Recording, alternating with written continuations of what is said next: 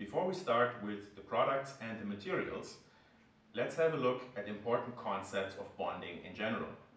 Why is this important? Well, plain and simple, if, uh, if, all, if it all works, it all works. We don't have anything to talk about. But if a bond fails, it can be very helpful to look at why it has failed. And to describe that, these concepts can be very helpful. So, what are the concepts I'm talking about? It's not too chemical, just certain concepts such as adhesion. What is adhesion? Adhesion describes the force, the bonding force, the bonding strength between the adhesive and the surface. So how strong is the bond between the adhesive layer and the material surface, such as a piece of leather, a piece of rubber. Adhesion scales with surface area. So seems pretty simple. If the surface, if you have double the surface, the strength is twice as large.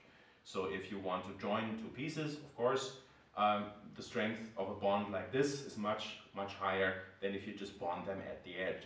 But this also implies that increasing the surface, such as through sanding, roughening the surface, also increases the bonding strength, which is one very good reason to sand a surface.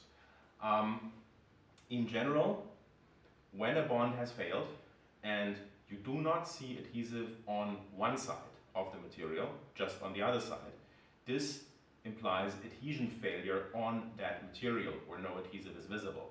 So you have to do something to improve adhesion. This can be as simple as sanding, this can be as simple as just wiping the surface with solvent, but it can also mean you have the wrong adhesive and you might need one with a certain adhesion promoter in that. Very typical behavior, let's say on polyethylene.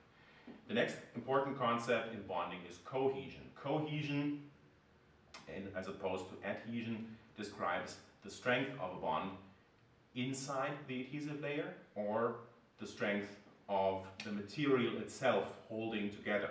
So if you have a very soft and very vulnerable material of sorts, uh, you certainly wouldn't use that, let's say, for a shoe sole because the abrasion and the strain on it would be far too great for the internal cohesion of the material. In other words, it would rip apart. Um, the same is true for an adhesive layer. If you have an adhesive like a rubber cement that is intended for bonding, let's say, pieces of fabric, pieces of upper leather together that are then stitched.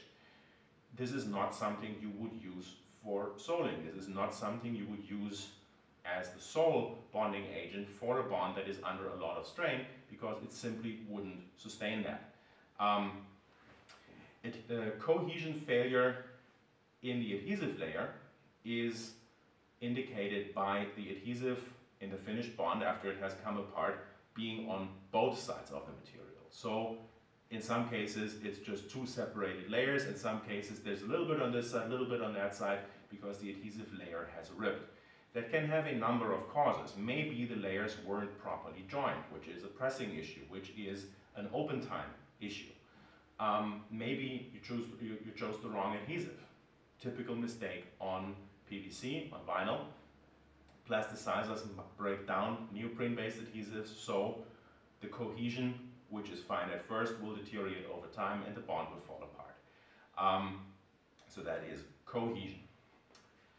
Cohesion is also important for the materials itself. Typical example, polyurethane-based soles that can fall apart, crumble, uh, when the material has been worn for a long time. Um, crystallization, also an important concept. Crystallization is what we call also curing of the adhesive. It is when a liquid adhesive turns into a solid adhesive layer. This process must happen. If it doesn't happen, then simply you don't have a bond and it just falls apart. Um, all of this takes time. So we can have a look at the three different times that are very important for bonding. The first, and what you can see here, is very simply put without any units, just as a general concept, we have the bonding strength and we have time. So, as you can see, bonding strength in general in the contact adhesive it increases over time, but it doesn't do so uniformly. The first increase happens here within the drying time. The drying time typically ranges between a few minutes and yeah, tens of minutes on that order of magnitude for contact cements. Um, or seconds in case of a, uh, of a super glue, which is in the drying time. So within the drying time, enough solvent evaporates so that you can start bonding.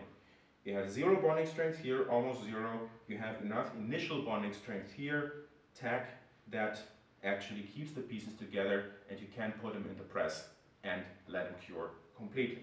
You have a so-called open time window or the open time here between the finish of the drying time and the onset of too much crystallization, too much curing, so that you cannot join the parts anymore. So within the open time, let's take an example, Renia Ortec. Renia Ortec has a drying time of 10 minutes and an open time of up to 60 minutes.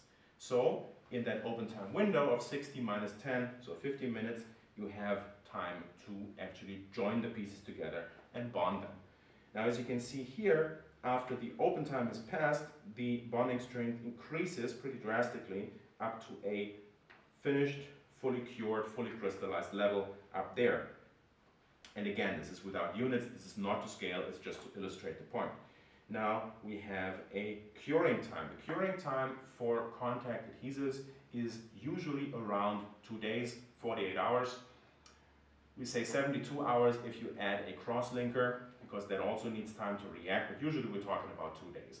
So within two days, the bonding strength increases to its final level. This doesn't mean that you have to wait for two days before you can handle the pieces, because otherwise they would fall apart. That's not the case.